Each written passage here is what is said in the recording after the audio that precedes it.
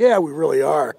You know, uh, our season wasn't didn't meet our expectations, so I think that creates a real sense of urgency and man, let's get it rolling. So, kids have had uh, great effort and focus and off-season strength and conditioning and meetings as we prepare to, to move forward. Yeah, 11 practice, spring game. Yeah.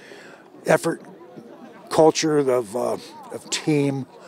Uh, you know, in this game, this is the ultimate team sport and it's got to be more about we than me.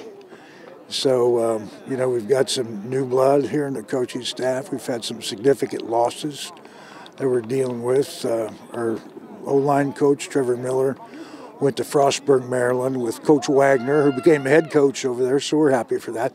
Now he's two hours close, closer to his family, or two hours from family instead of nine. Mm. And my son, Patrick Donley's been here 18 years just took a job in, in sales. He's going to be our Adidas rep now. And um, we're happy for those guys, even though that, you know, painful when you lose guys that have been around that long. It becomes a family. Um, but we, we had Adam Sherman that just came back on our staff.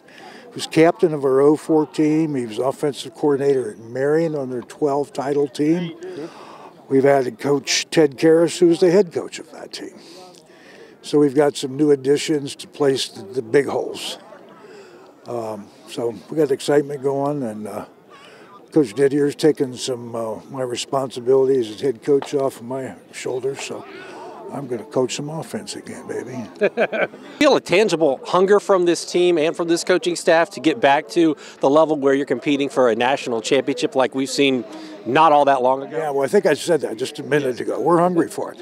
You know, uh, last year was the first losing season we've had in 25 years. So it's not something that we're going to take lightly. So there's a real sense of urgency out of everybody. I mean, I, I own the three and six, and I don't like it. So I'm going to do everything in my power to make sure that never happens again.